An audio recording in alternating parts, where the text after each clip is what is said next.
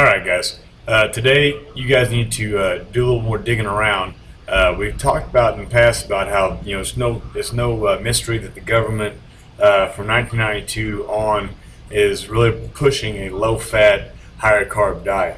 The question is how why why why did that happen? How did that come to be? Uh, so um, today's lesson, if you scroll down to today's day, Wednesday, Thursday you should find out what, what you guys are going to be doing.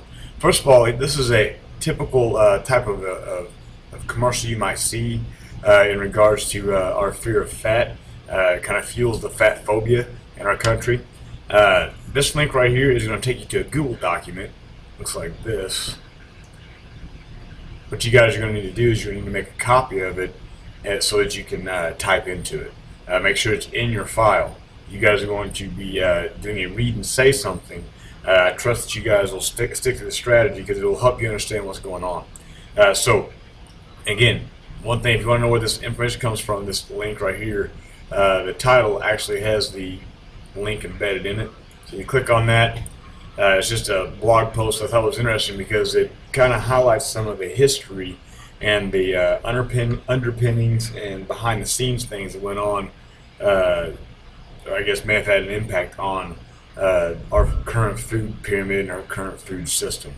Uh, so again, I want you guys to uh, do a read and say something. So you're going to read a paragraph, stop, check in, say something about what you just read, uh, move on to the next paragraph, read, read it, stop, check in, go around the table and say something. Uh, you're going to do that to complete the article. It's a little bit long, uh, but it's, it has some good information about it. this part right in here especially is pretty good because it's a quote from a lady who was actually involved in the original creation of our food pyramid, and it's kind of interesting uh, what she has to say. So I want you guys to read and say something, read and say something all the way through to the end, uh, and then uh, once you're done, I want you guys to uh, complete a summary or a reflection. Excuse me. Uh, what was your initial reaction? What did you think of it?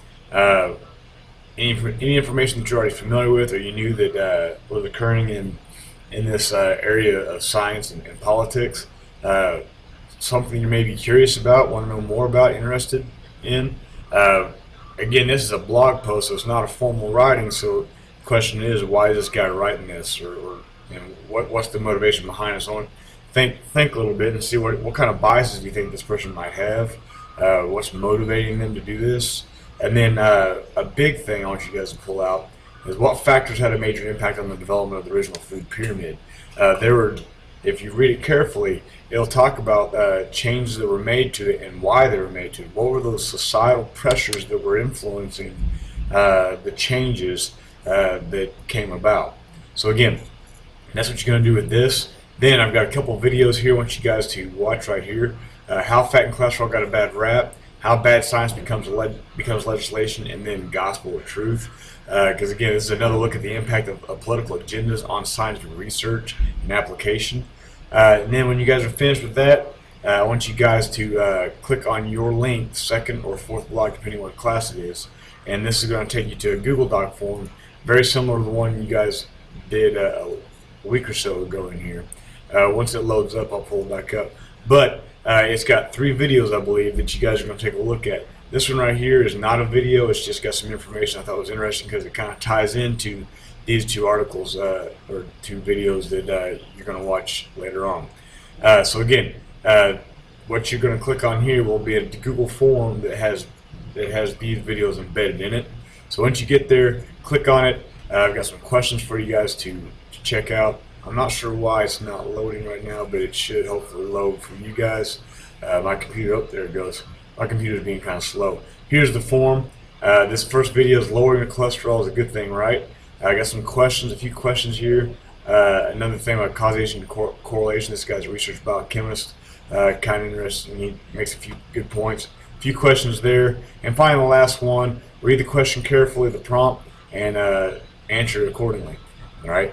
If you want this to be bigger, you can always uh, copy uh, the URL into a new tab to make it bigger for you or I've got them pulled out here uh, below that first link. These three videos correlate or correspond with the document you're watching.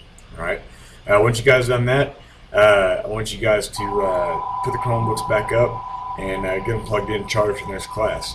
I will we will discuss what you guys came up or what you guys thought next time in class and get you guys caught up. Thanks.